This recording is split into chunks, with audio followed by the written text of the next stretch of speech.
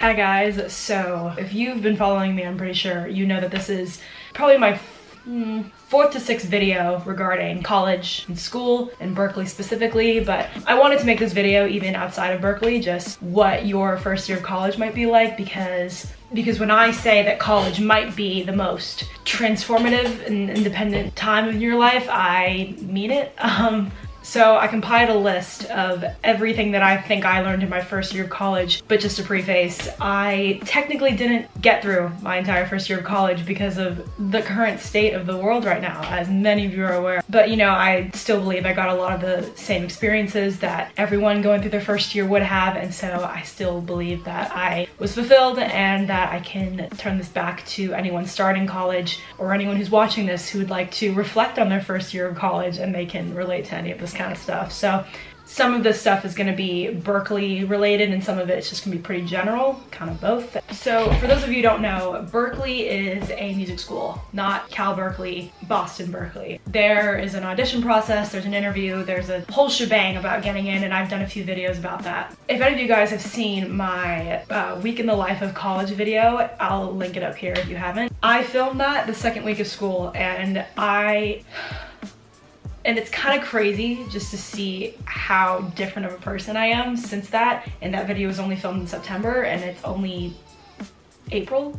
I think at the time that video showed so much and then I look back now and I'm like, wow, I hadn't even experienced any of the stuff that I did following that video and I have a very different perspective on things now and like not in a bad way, but it just how things seemed in that video just ended up so different as you get used to things in a new place. So the first thing I want to talk about is regarding Berklee as a school. Um, the number one thing I learned in college is that it's kind of a fine line where music 24-7 is genuinely the best thing in the world that you can go to a school where everybody studies music and it's all you do 24-7 and there's so much to that because every single person you speak to, you have something in common with. And that's not something a lot of college kids can get anytime you're getting to know someone, the first thing you talk about is music and it's convenient and it's a great way to make friends. On the other side of that, I think around December, January, there hits a point where music eventually finds its way to consume you. That is something that you independently need to learn how to handle yourself and what works for you. I remember around like December, I didn't write a song for a little bit of time. I felt overwhelmed with school, I felt overwhelmed with my social life, and I felt overwhelmed with just a lot of things that kind of added up and I ended up learning that I love to exercise and I ended up learning that I like to go outside. I like to get a cup of coffee if I have the money for it and I like to go on a walk and play music and be by myself. And that was something that my roommate took a second to figure out and I know she's watching this. Hello, Giselle. um, yeah, I figured out that that's what worked for me is being alone and I think that that's not for everybody and I'll get to roommate stuff in a little bit, but my roommate knew that I liked to be alone and she respected that and I loved her for that and that was the best way that I could stop being creative for a little bit and then immediately get back into it once I was able to just clear my head and do my own thing. So the main point is just knowing that at Berklee. So back to my main point with that, it's studying music is genuinely the best thing. And in the times that it's not, just learn how to handle it. The next thing I want to talk about is my roommate and your roommate. Berklee over the summer did a Facebook page, which I think a lot of colleges do. And you could talk to people on there. I've met a couple people off of there. I met my friend Tony. If you're watching this, hello. I talked to him for a lot of the summer and I met Giselle, who is my roommate, also on the Facebook page. And it was strange because she, I think trying to find a roommate can be the weirdest, most coolest, most scariest thing in your life because the number one thing that you're afraid of, and I know, is to choose wrong or do random and hope that the world doesn't choose wrong for you. Giselle had messaged me on the Facebook page and she was like, hi, are you looking for a roommate? And I was just like, oh no, like here we go. And I was like, yeah, I actually am looking for a roommate. It's a weird thing to know so little about someone, even after discussing hobbies and interests and deciding that you're gonna live together because you don't know everything about that person. And you know what? I learned I learned that in the nights where I would talk to my mom and say, I'm so nervous to have a roommate. What if she hates me? What if I don't like her?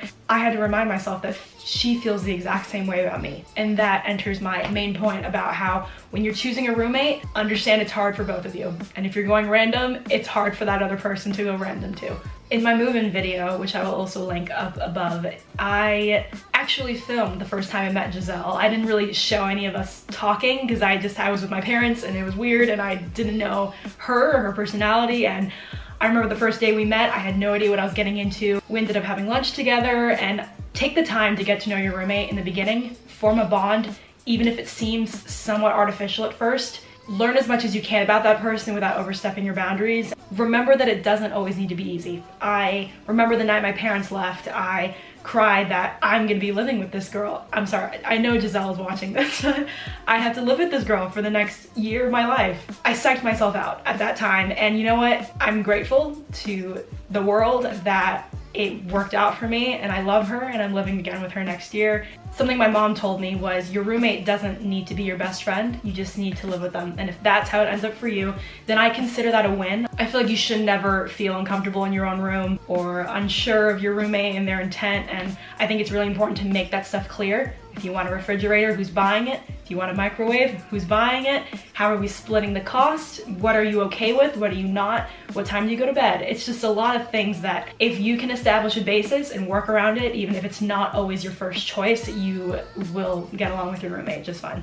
So, kind of Berklee, kind of just general college, I say do your orientation week. Um, I'm aware that for a lot of other colleges, I'm pretty sure it's like a couple weeks before, if I'm not wrong. I remember at Berklee, we moved in and then the entire week following was orientation week. So it was just a ton of activities. You were put in a group with some random people and you all were kind of like forced to get to know each other. You didn't have to, obviously. It's just enforcing a way to make friends. During orientation, you think, do I need to go to this stuff? Is this necessary information? I wanna go hang out with my new friends that I met last night. If I don't go hang out with my new friends that I met last night and I go to my orientation meeting and I miss out on what my friends are doing, am I gonna not be in the friend group? I get it. But, you know, Berklee's orientation week is actually kind of fun. You do like a, there's like an outdoor barbecue, there's like a little dance thing on like a block on Haviland and it's like, it's fun and you get to know people and by the end of that week, you're talking to a few people and then it's so important to be open-minded and it's not to say like be fake to people or just be a weird version of yourself and I wouldn't consider myself the biggest extrovert at all but I think it goes so far just to say hello to someone or just to ask why they're at Berklee, why they are studying what they're studying. If you're at a normal college, what is, what is their major? What's their background? Where are they from? Don't let people scare you because remember, every single person is in the same exact boat as you.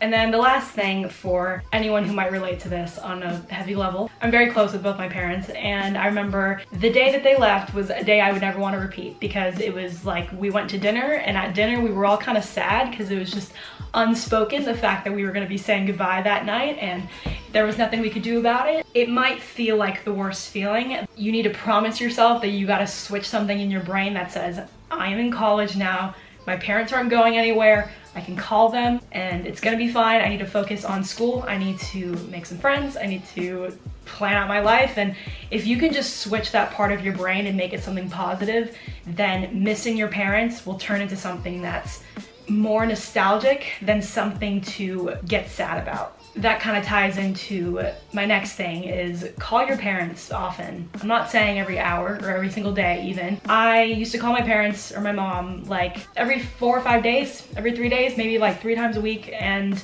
it made me feel like I could live at two places at once. Yeah, it gave me something to break up my week. It made something very familiar and yeah, so definitely call your parents. So that kind of sums up like the beginning part of college in my experience. Now I want to get into the stuff that's kind of things that I learned all throughout. Number one, time flies, especially if you're working hard. At a normal college, you know, even if you're undeclared, find your passion and what makes you happy to do schoolwork and what drives you to do schoolwork and focus on it. And I know basic general ed classes genuinely suck. People think we don't take those at Berklee, but we do. And specific to Berklee for a second, if you could just take those classes that you write papers in or things that maybe the professor talks about that you could give two shits about. If you can turn that into something that's like, oh, you know what? This kind of breaks up my day a little bit. Like I'm studying music all the time, so this is kind of a nice class to go to that has nothing to do with music some of the time. I promise you'll get a lot out of it if you can switch that part of your brain. I genuinely love writing. I like English, so I look forward to those kinds of classes. And also tying into working hard. To walk out of a class, for example, like an ensemble, and feel good about yourself and know that you put the effort in and you did something great can genuinely be the best feeling. And even when you walk out and you're like, wow, I could have done so much better that day. Or like you walk out of your training and he or she was checking a melody and you butchered it in front of your entire class. That should motivate you to work harder. I can't stress enough the fact being musician, take your failures and turn them into something great because then when you actually succeed at something, it is genuinely the best feeling in the world. Number two, the amount of independence you gain is nuts. Back to my first video with the week in my life thing. Since September to now, I have changed so much as a person independently. What's so funny about it is you don't notice it until you think about it. Felt like kind of a dependent person my first semester at Berklee and I recognized the entire second semester that I was very independent. I'm not gonna say I did that miraculously or subconsciously. I was definitely aware that I was becoming more aware of myself and just like the things I thought and how I treated people and it was just kind of a switch. And it's crazy because in high school, I thought I had a lot of independence, you know, my parents trusted me. It was like, go out with your friends if you want, do what you want, as long as you're safe and you tell me. But in high school, you're independent with your parents, and in college, you are independent with yourself. You make your schedule and you control your entire life, and it's up to you. It's important to learn how to do that. Number three or four, please go to class. Do I wake up some days? Did I have like three or four 9 a.m.s first semester? Yes. Do I have three 9 a.m.s now, which are actually 6 a.m.s because of the time difference in LA? Yes. Did my roommate and I debate together whether to sleep in together a few times? Absolutely. Giselle and I both knew that it was very important to go to class, and to say that Berklee is cheap is not valid. Feels guilty to know that you are not getting your money's worth, not going to class. So go to class, get your money's worth, learn something. Even if you know what the teacher's gonna teach that day, doodle on your paper or I don't know, zone, think about the person you're dating at that time. I don't know, like just go to class. now into sort of the fun stuff. Um, go out on the weekends, do stuff with your friends, hang out with your friends. Even on the weeknights, get your shit done and then hang out with your friends the whole night. I would, I remember most weeks I would get my schoolwork done, hang out with my friends, or I would have conversations with Giselle for four hours until one in the morning. Or on the weekends, we would go to a house show, or we would hang out in one of our dorm rooms and just have fun, or watch a movie and have a movie night. And of course, outside of Berklee, go to sporting events if you have one. If you're interested in being in a sorority or frat, do it. Berklee doesn't have that stuff, but join things you might even maybe be interested in. Next one's kind of a funny one, but I think it's important to say. Don't worry who you date. Genuinely, don't worry who you date. People are meeting each other for the first time in college in a weird setting, okay? So frankly, it does not matter. If you can learn to focus on yourself and your schoolwork and your friends way more than you do on parts of your social life that frankly take up way too much brain power, as Giselle and I would attest, please do it. You've got four years to figure it out. Again, going back to my social point, just be open with people. And of course, don't beat yourself up or regret the people you involve yourself with, but also just recognize that it's it's college. A lot of people have different mantras about dating and relationships and stuff, so let the world do the work. This is one that I'm proud to have actually followed most of college, which is shocking. Eat food and eat a semi-balanced diet if you can. I used to eat breakfast every morning. Towards the last end of second semester, I didn't because all what was going on and I needed, uh, my brain was elsewhere. But yeah, eat breakfast. If you're not a lunch person, get a snack. Eat dinner. Um, have pizza with your friends sometimes. The cafe is pretty good food. Breakfast specifically, dinner depends on the day. But I do love the breakfast there. They have everything. They have healthy things. They have yogurt, granola, eggs. So yeah, on the weekends, go wild. Have some pancakes and some waffles. But on the weekdays, eat something that'll fill you up for your classes that day and just be aware of what you're putting into your body. That's it. this one's quick. Public bathrooms get easier. They kind of suck in the beginning. It's kind of like, am I really about to wear flip-flops in the shower every single time I shower? But I promise it gets easier. You get used to bringing your little thing into the bathroom. And if you're lucky to live in a dorm that has a bathroom, or if you're at Berklee and you live in mm, sometimes 270 or 150, you may have your own bathroom. I lived in 160 and Giselle and I had to walk our butts to the bathroom down the hall, which was, you get used to it, I promise. The second to last thing is kind of individual. If you like to write, or if you're a songwriter and you enjoy remembering things, journal your first year of college. I've touched on this in a previous video. I keep a journal. It says 2020 on it, but I've been logging since maybe around like November of last year. And I did a page of my first year of college pictures that I love and I kept a lot of memories in this thing and I think it's so fun to look back at. These are pictures that Giselle and I had in our dorm and I took them down with me when we moved out. I think when you're 40, it's gonna be the coolest thing to look back at this, like who you dated, who your friends are, what school was like, how stressed out you were, how happy you were. It's honestly the coolest thing. I still read like the beginning passages of this, not even a year later, and I'm like, oh my God, I like can't believe I was ever like that. It's good to remember things. So this was kind of a long video, but I want to leave you guys with one last thought. This is specific to Berklee. Enjoy living in a city. It doesn't seem like it sometimes because we don't really have a campus, but I don't know, my little friend group and I went to a baseball game at the beginning of the year. We took an expensive Uber and went to an apple picking farm and we got pump we looked at pumpkins. Yeah, we did things as a friend group that isn't always music and that's very important I think and that's a lot of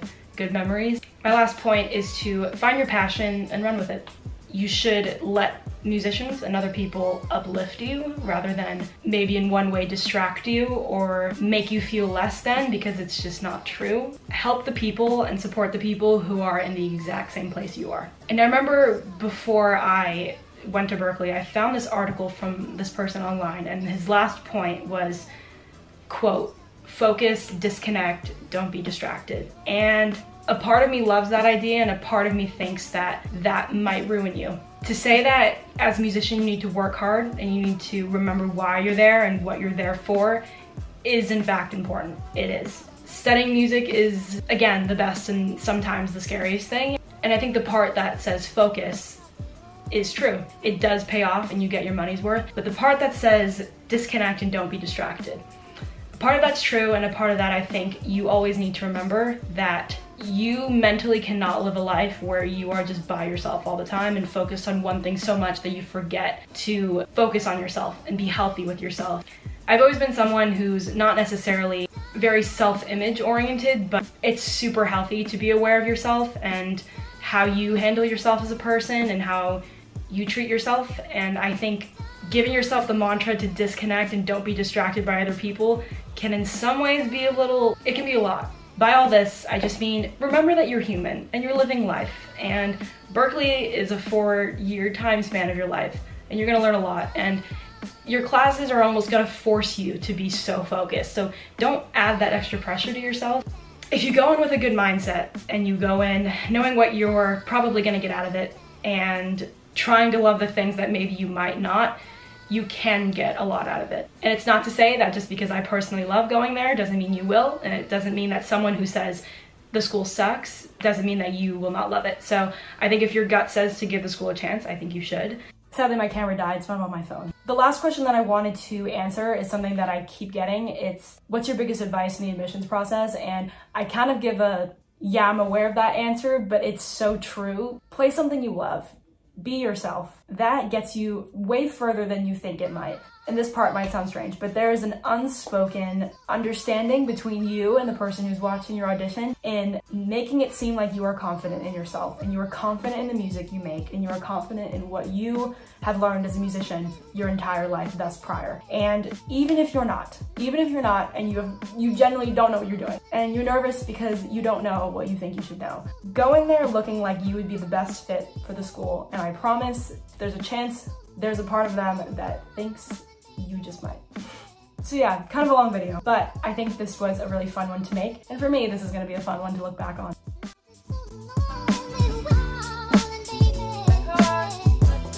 All right, Giselle, ready to go.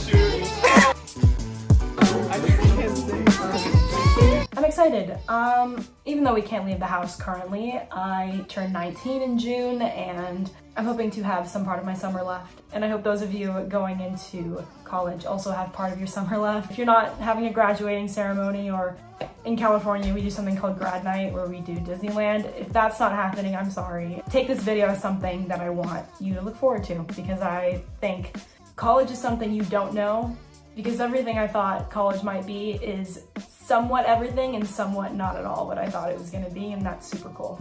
Thank you guys for watching this video and I will see you in my next one.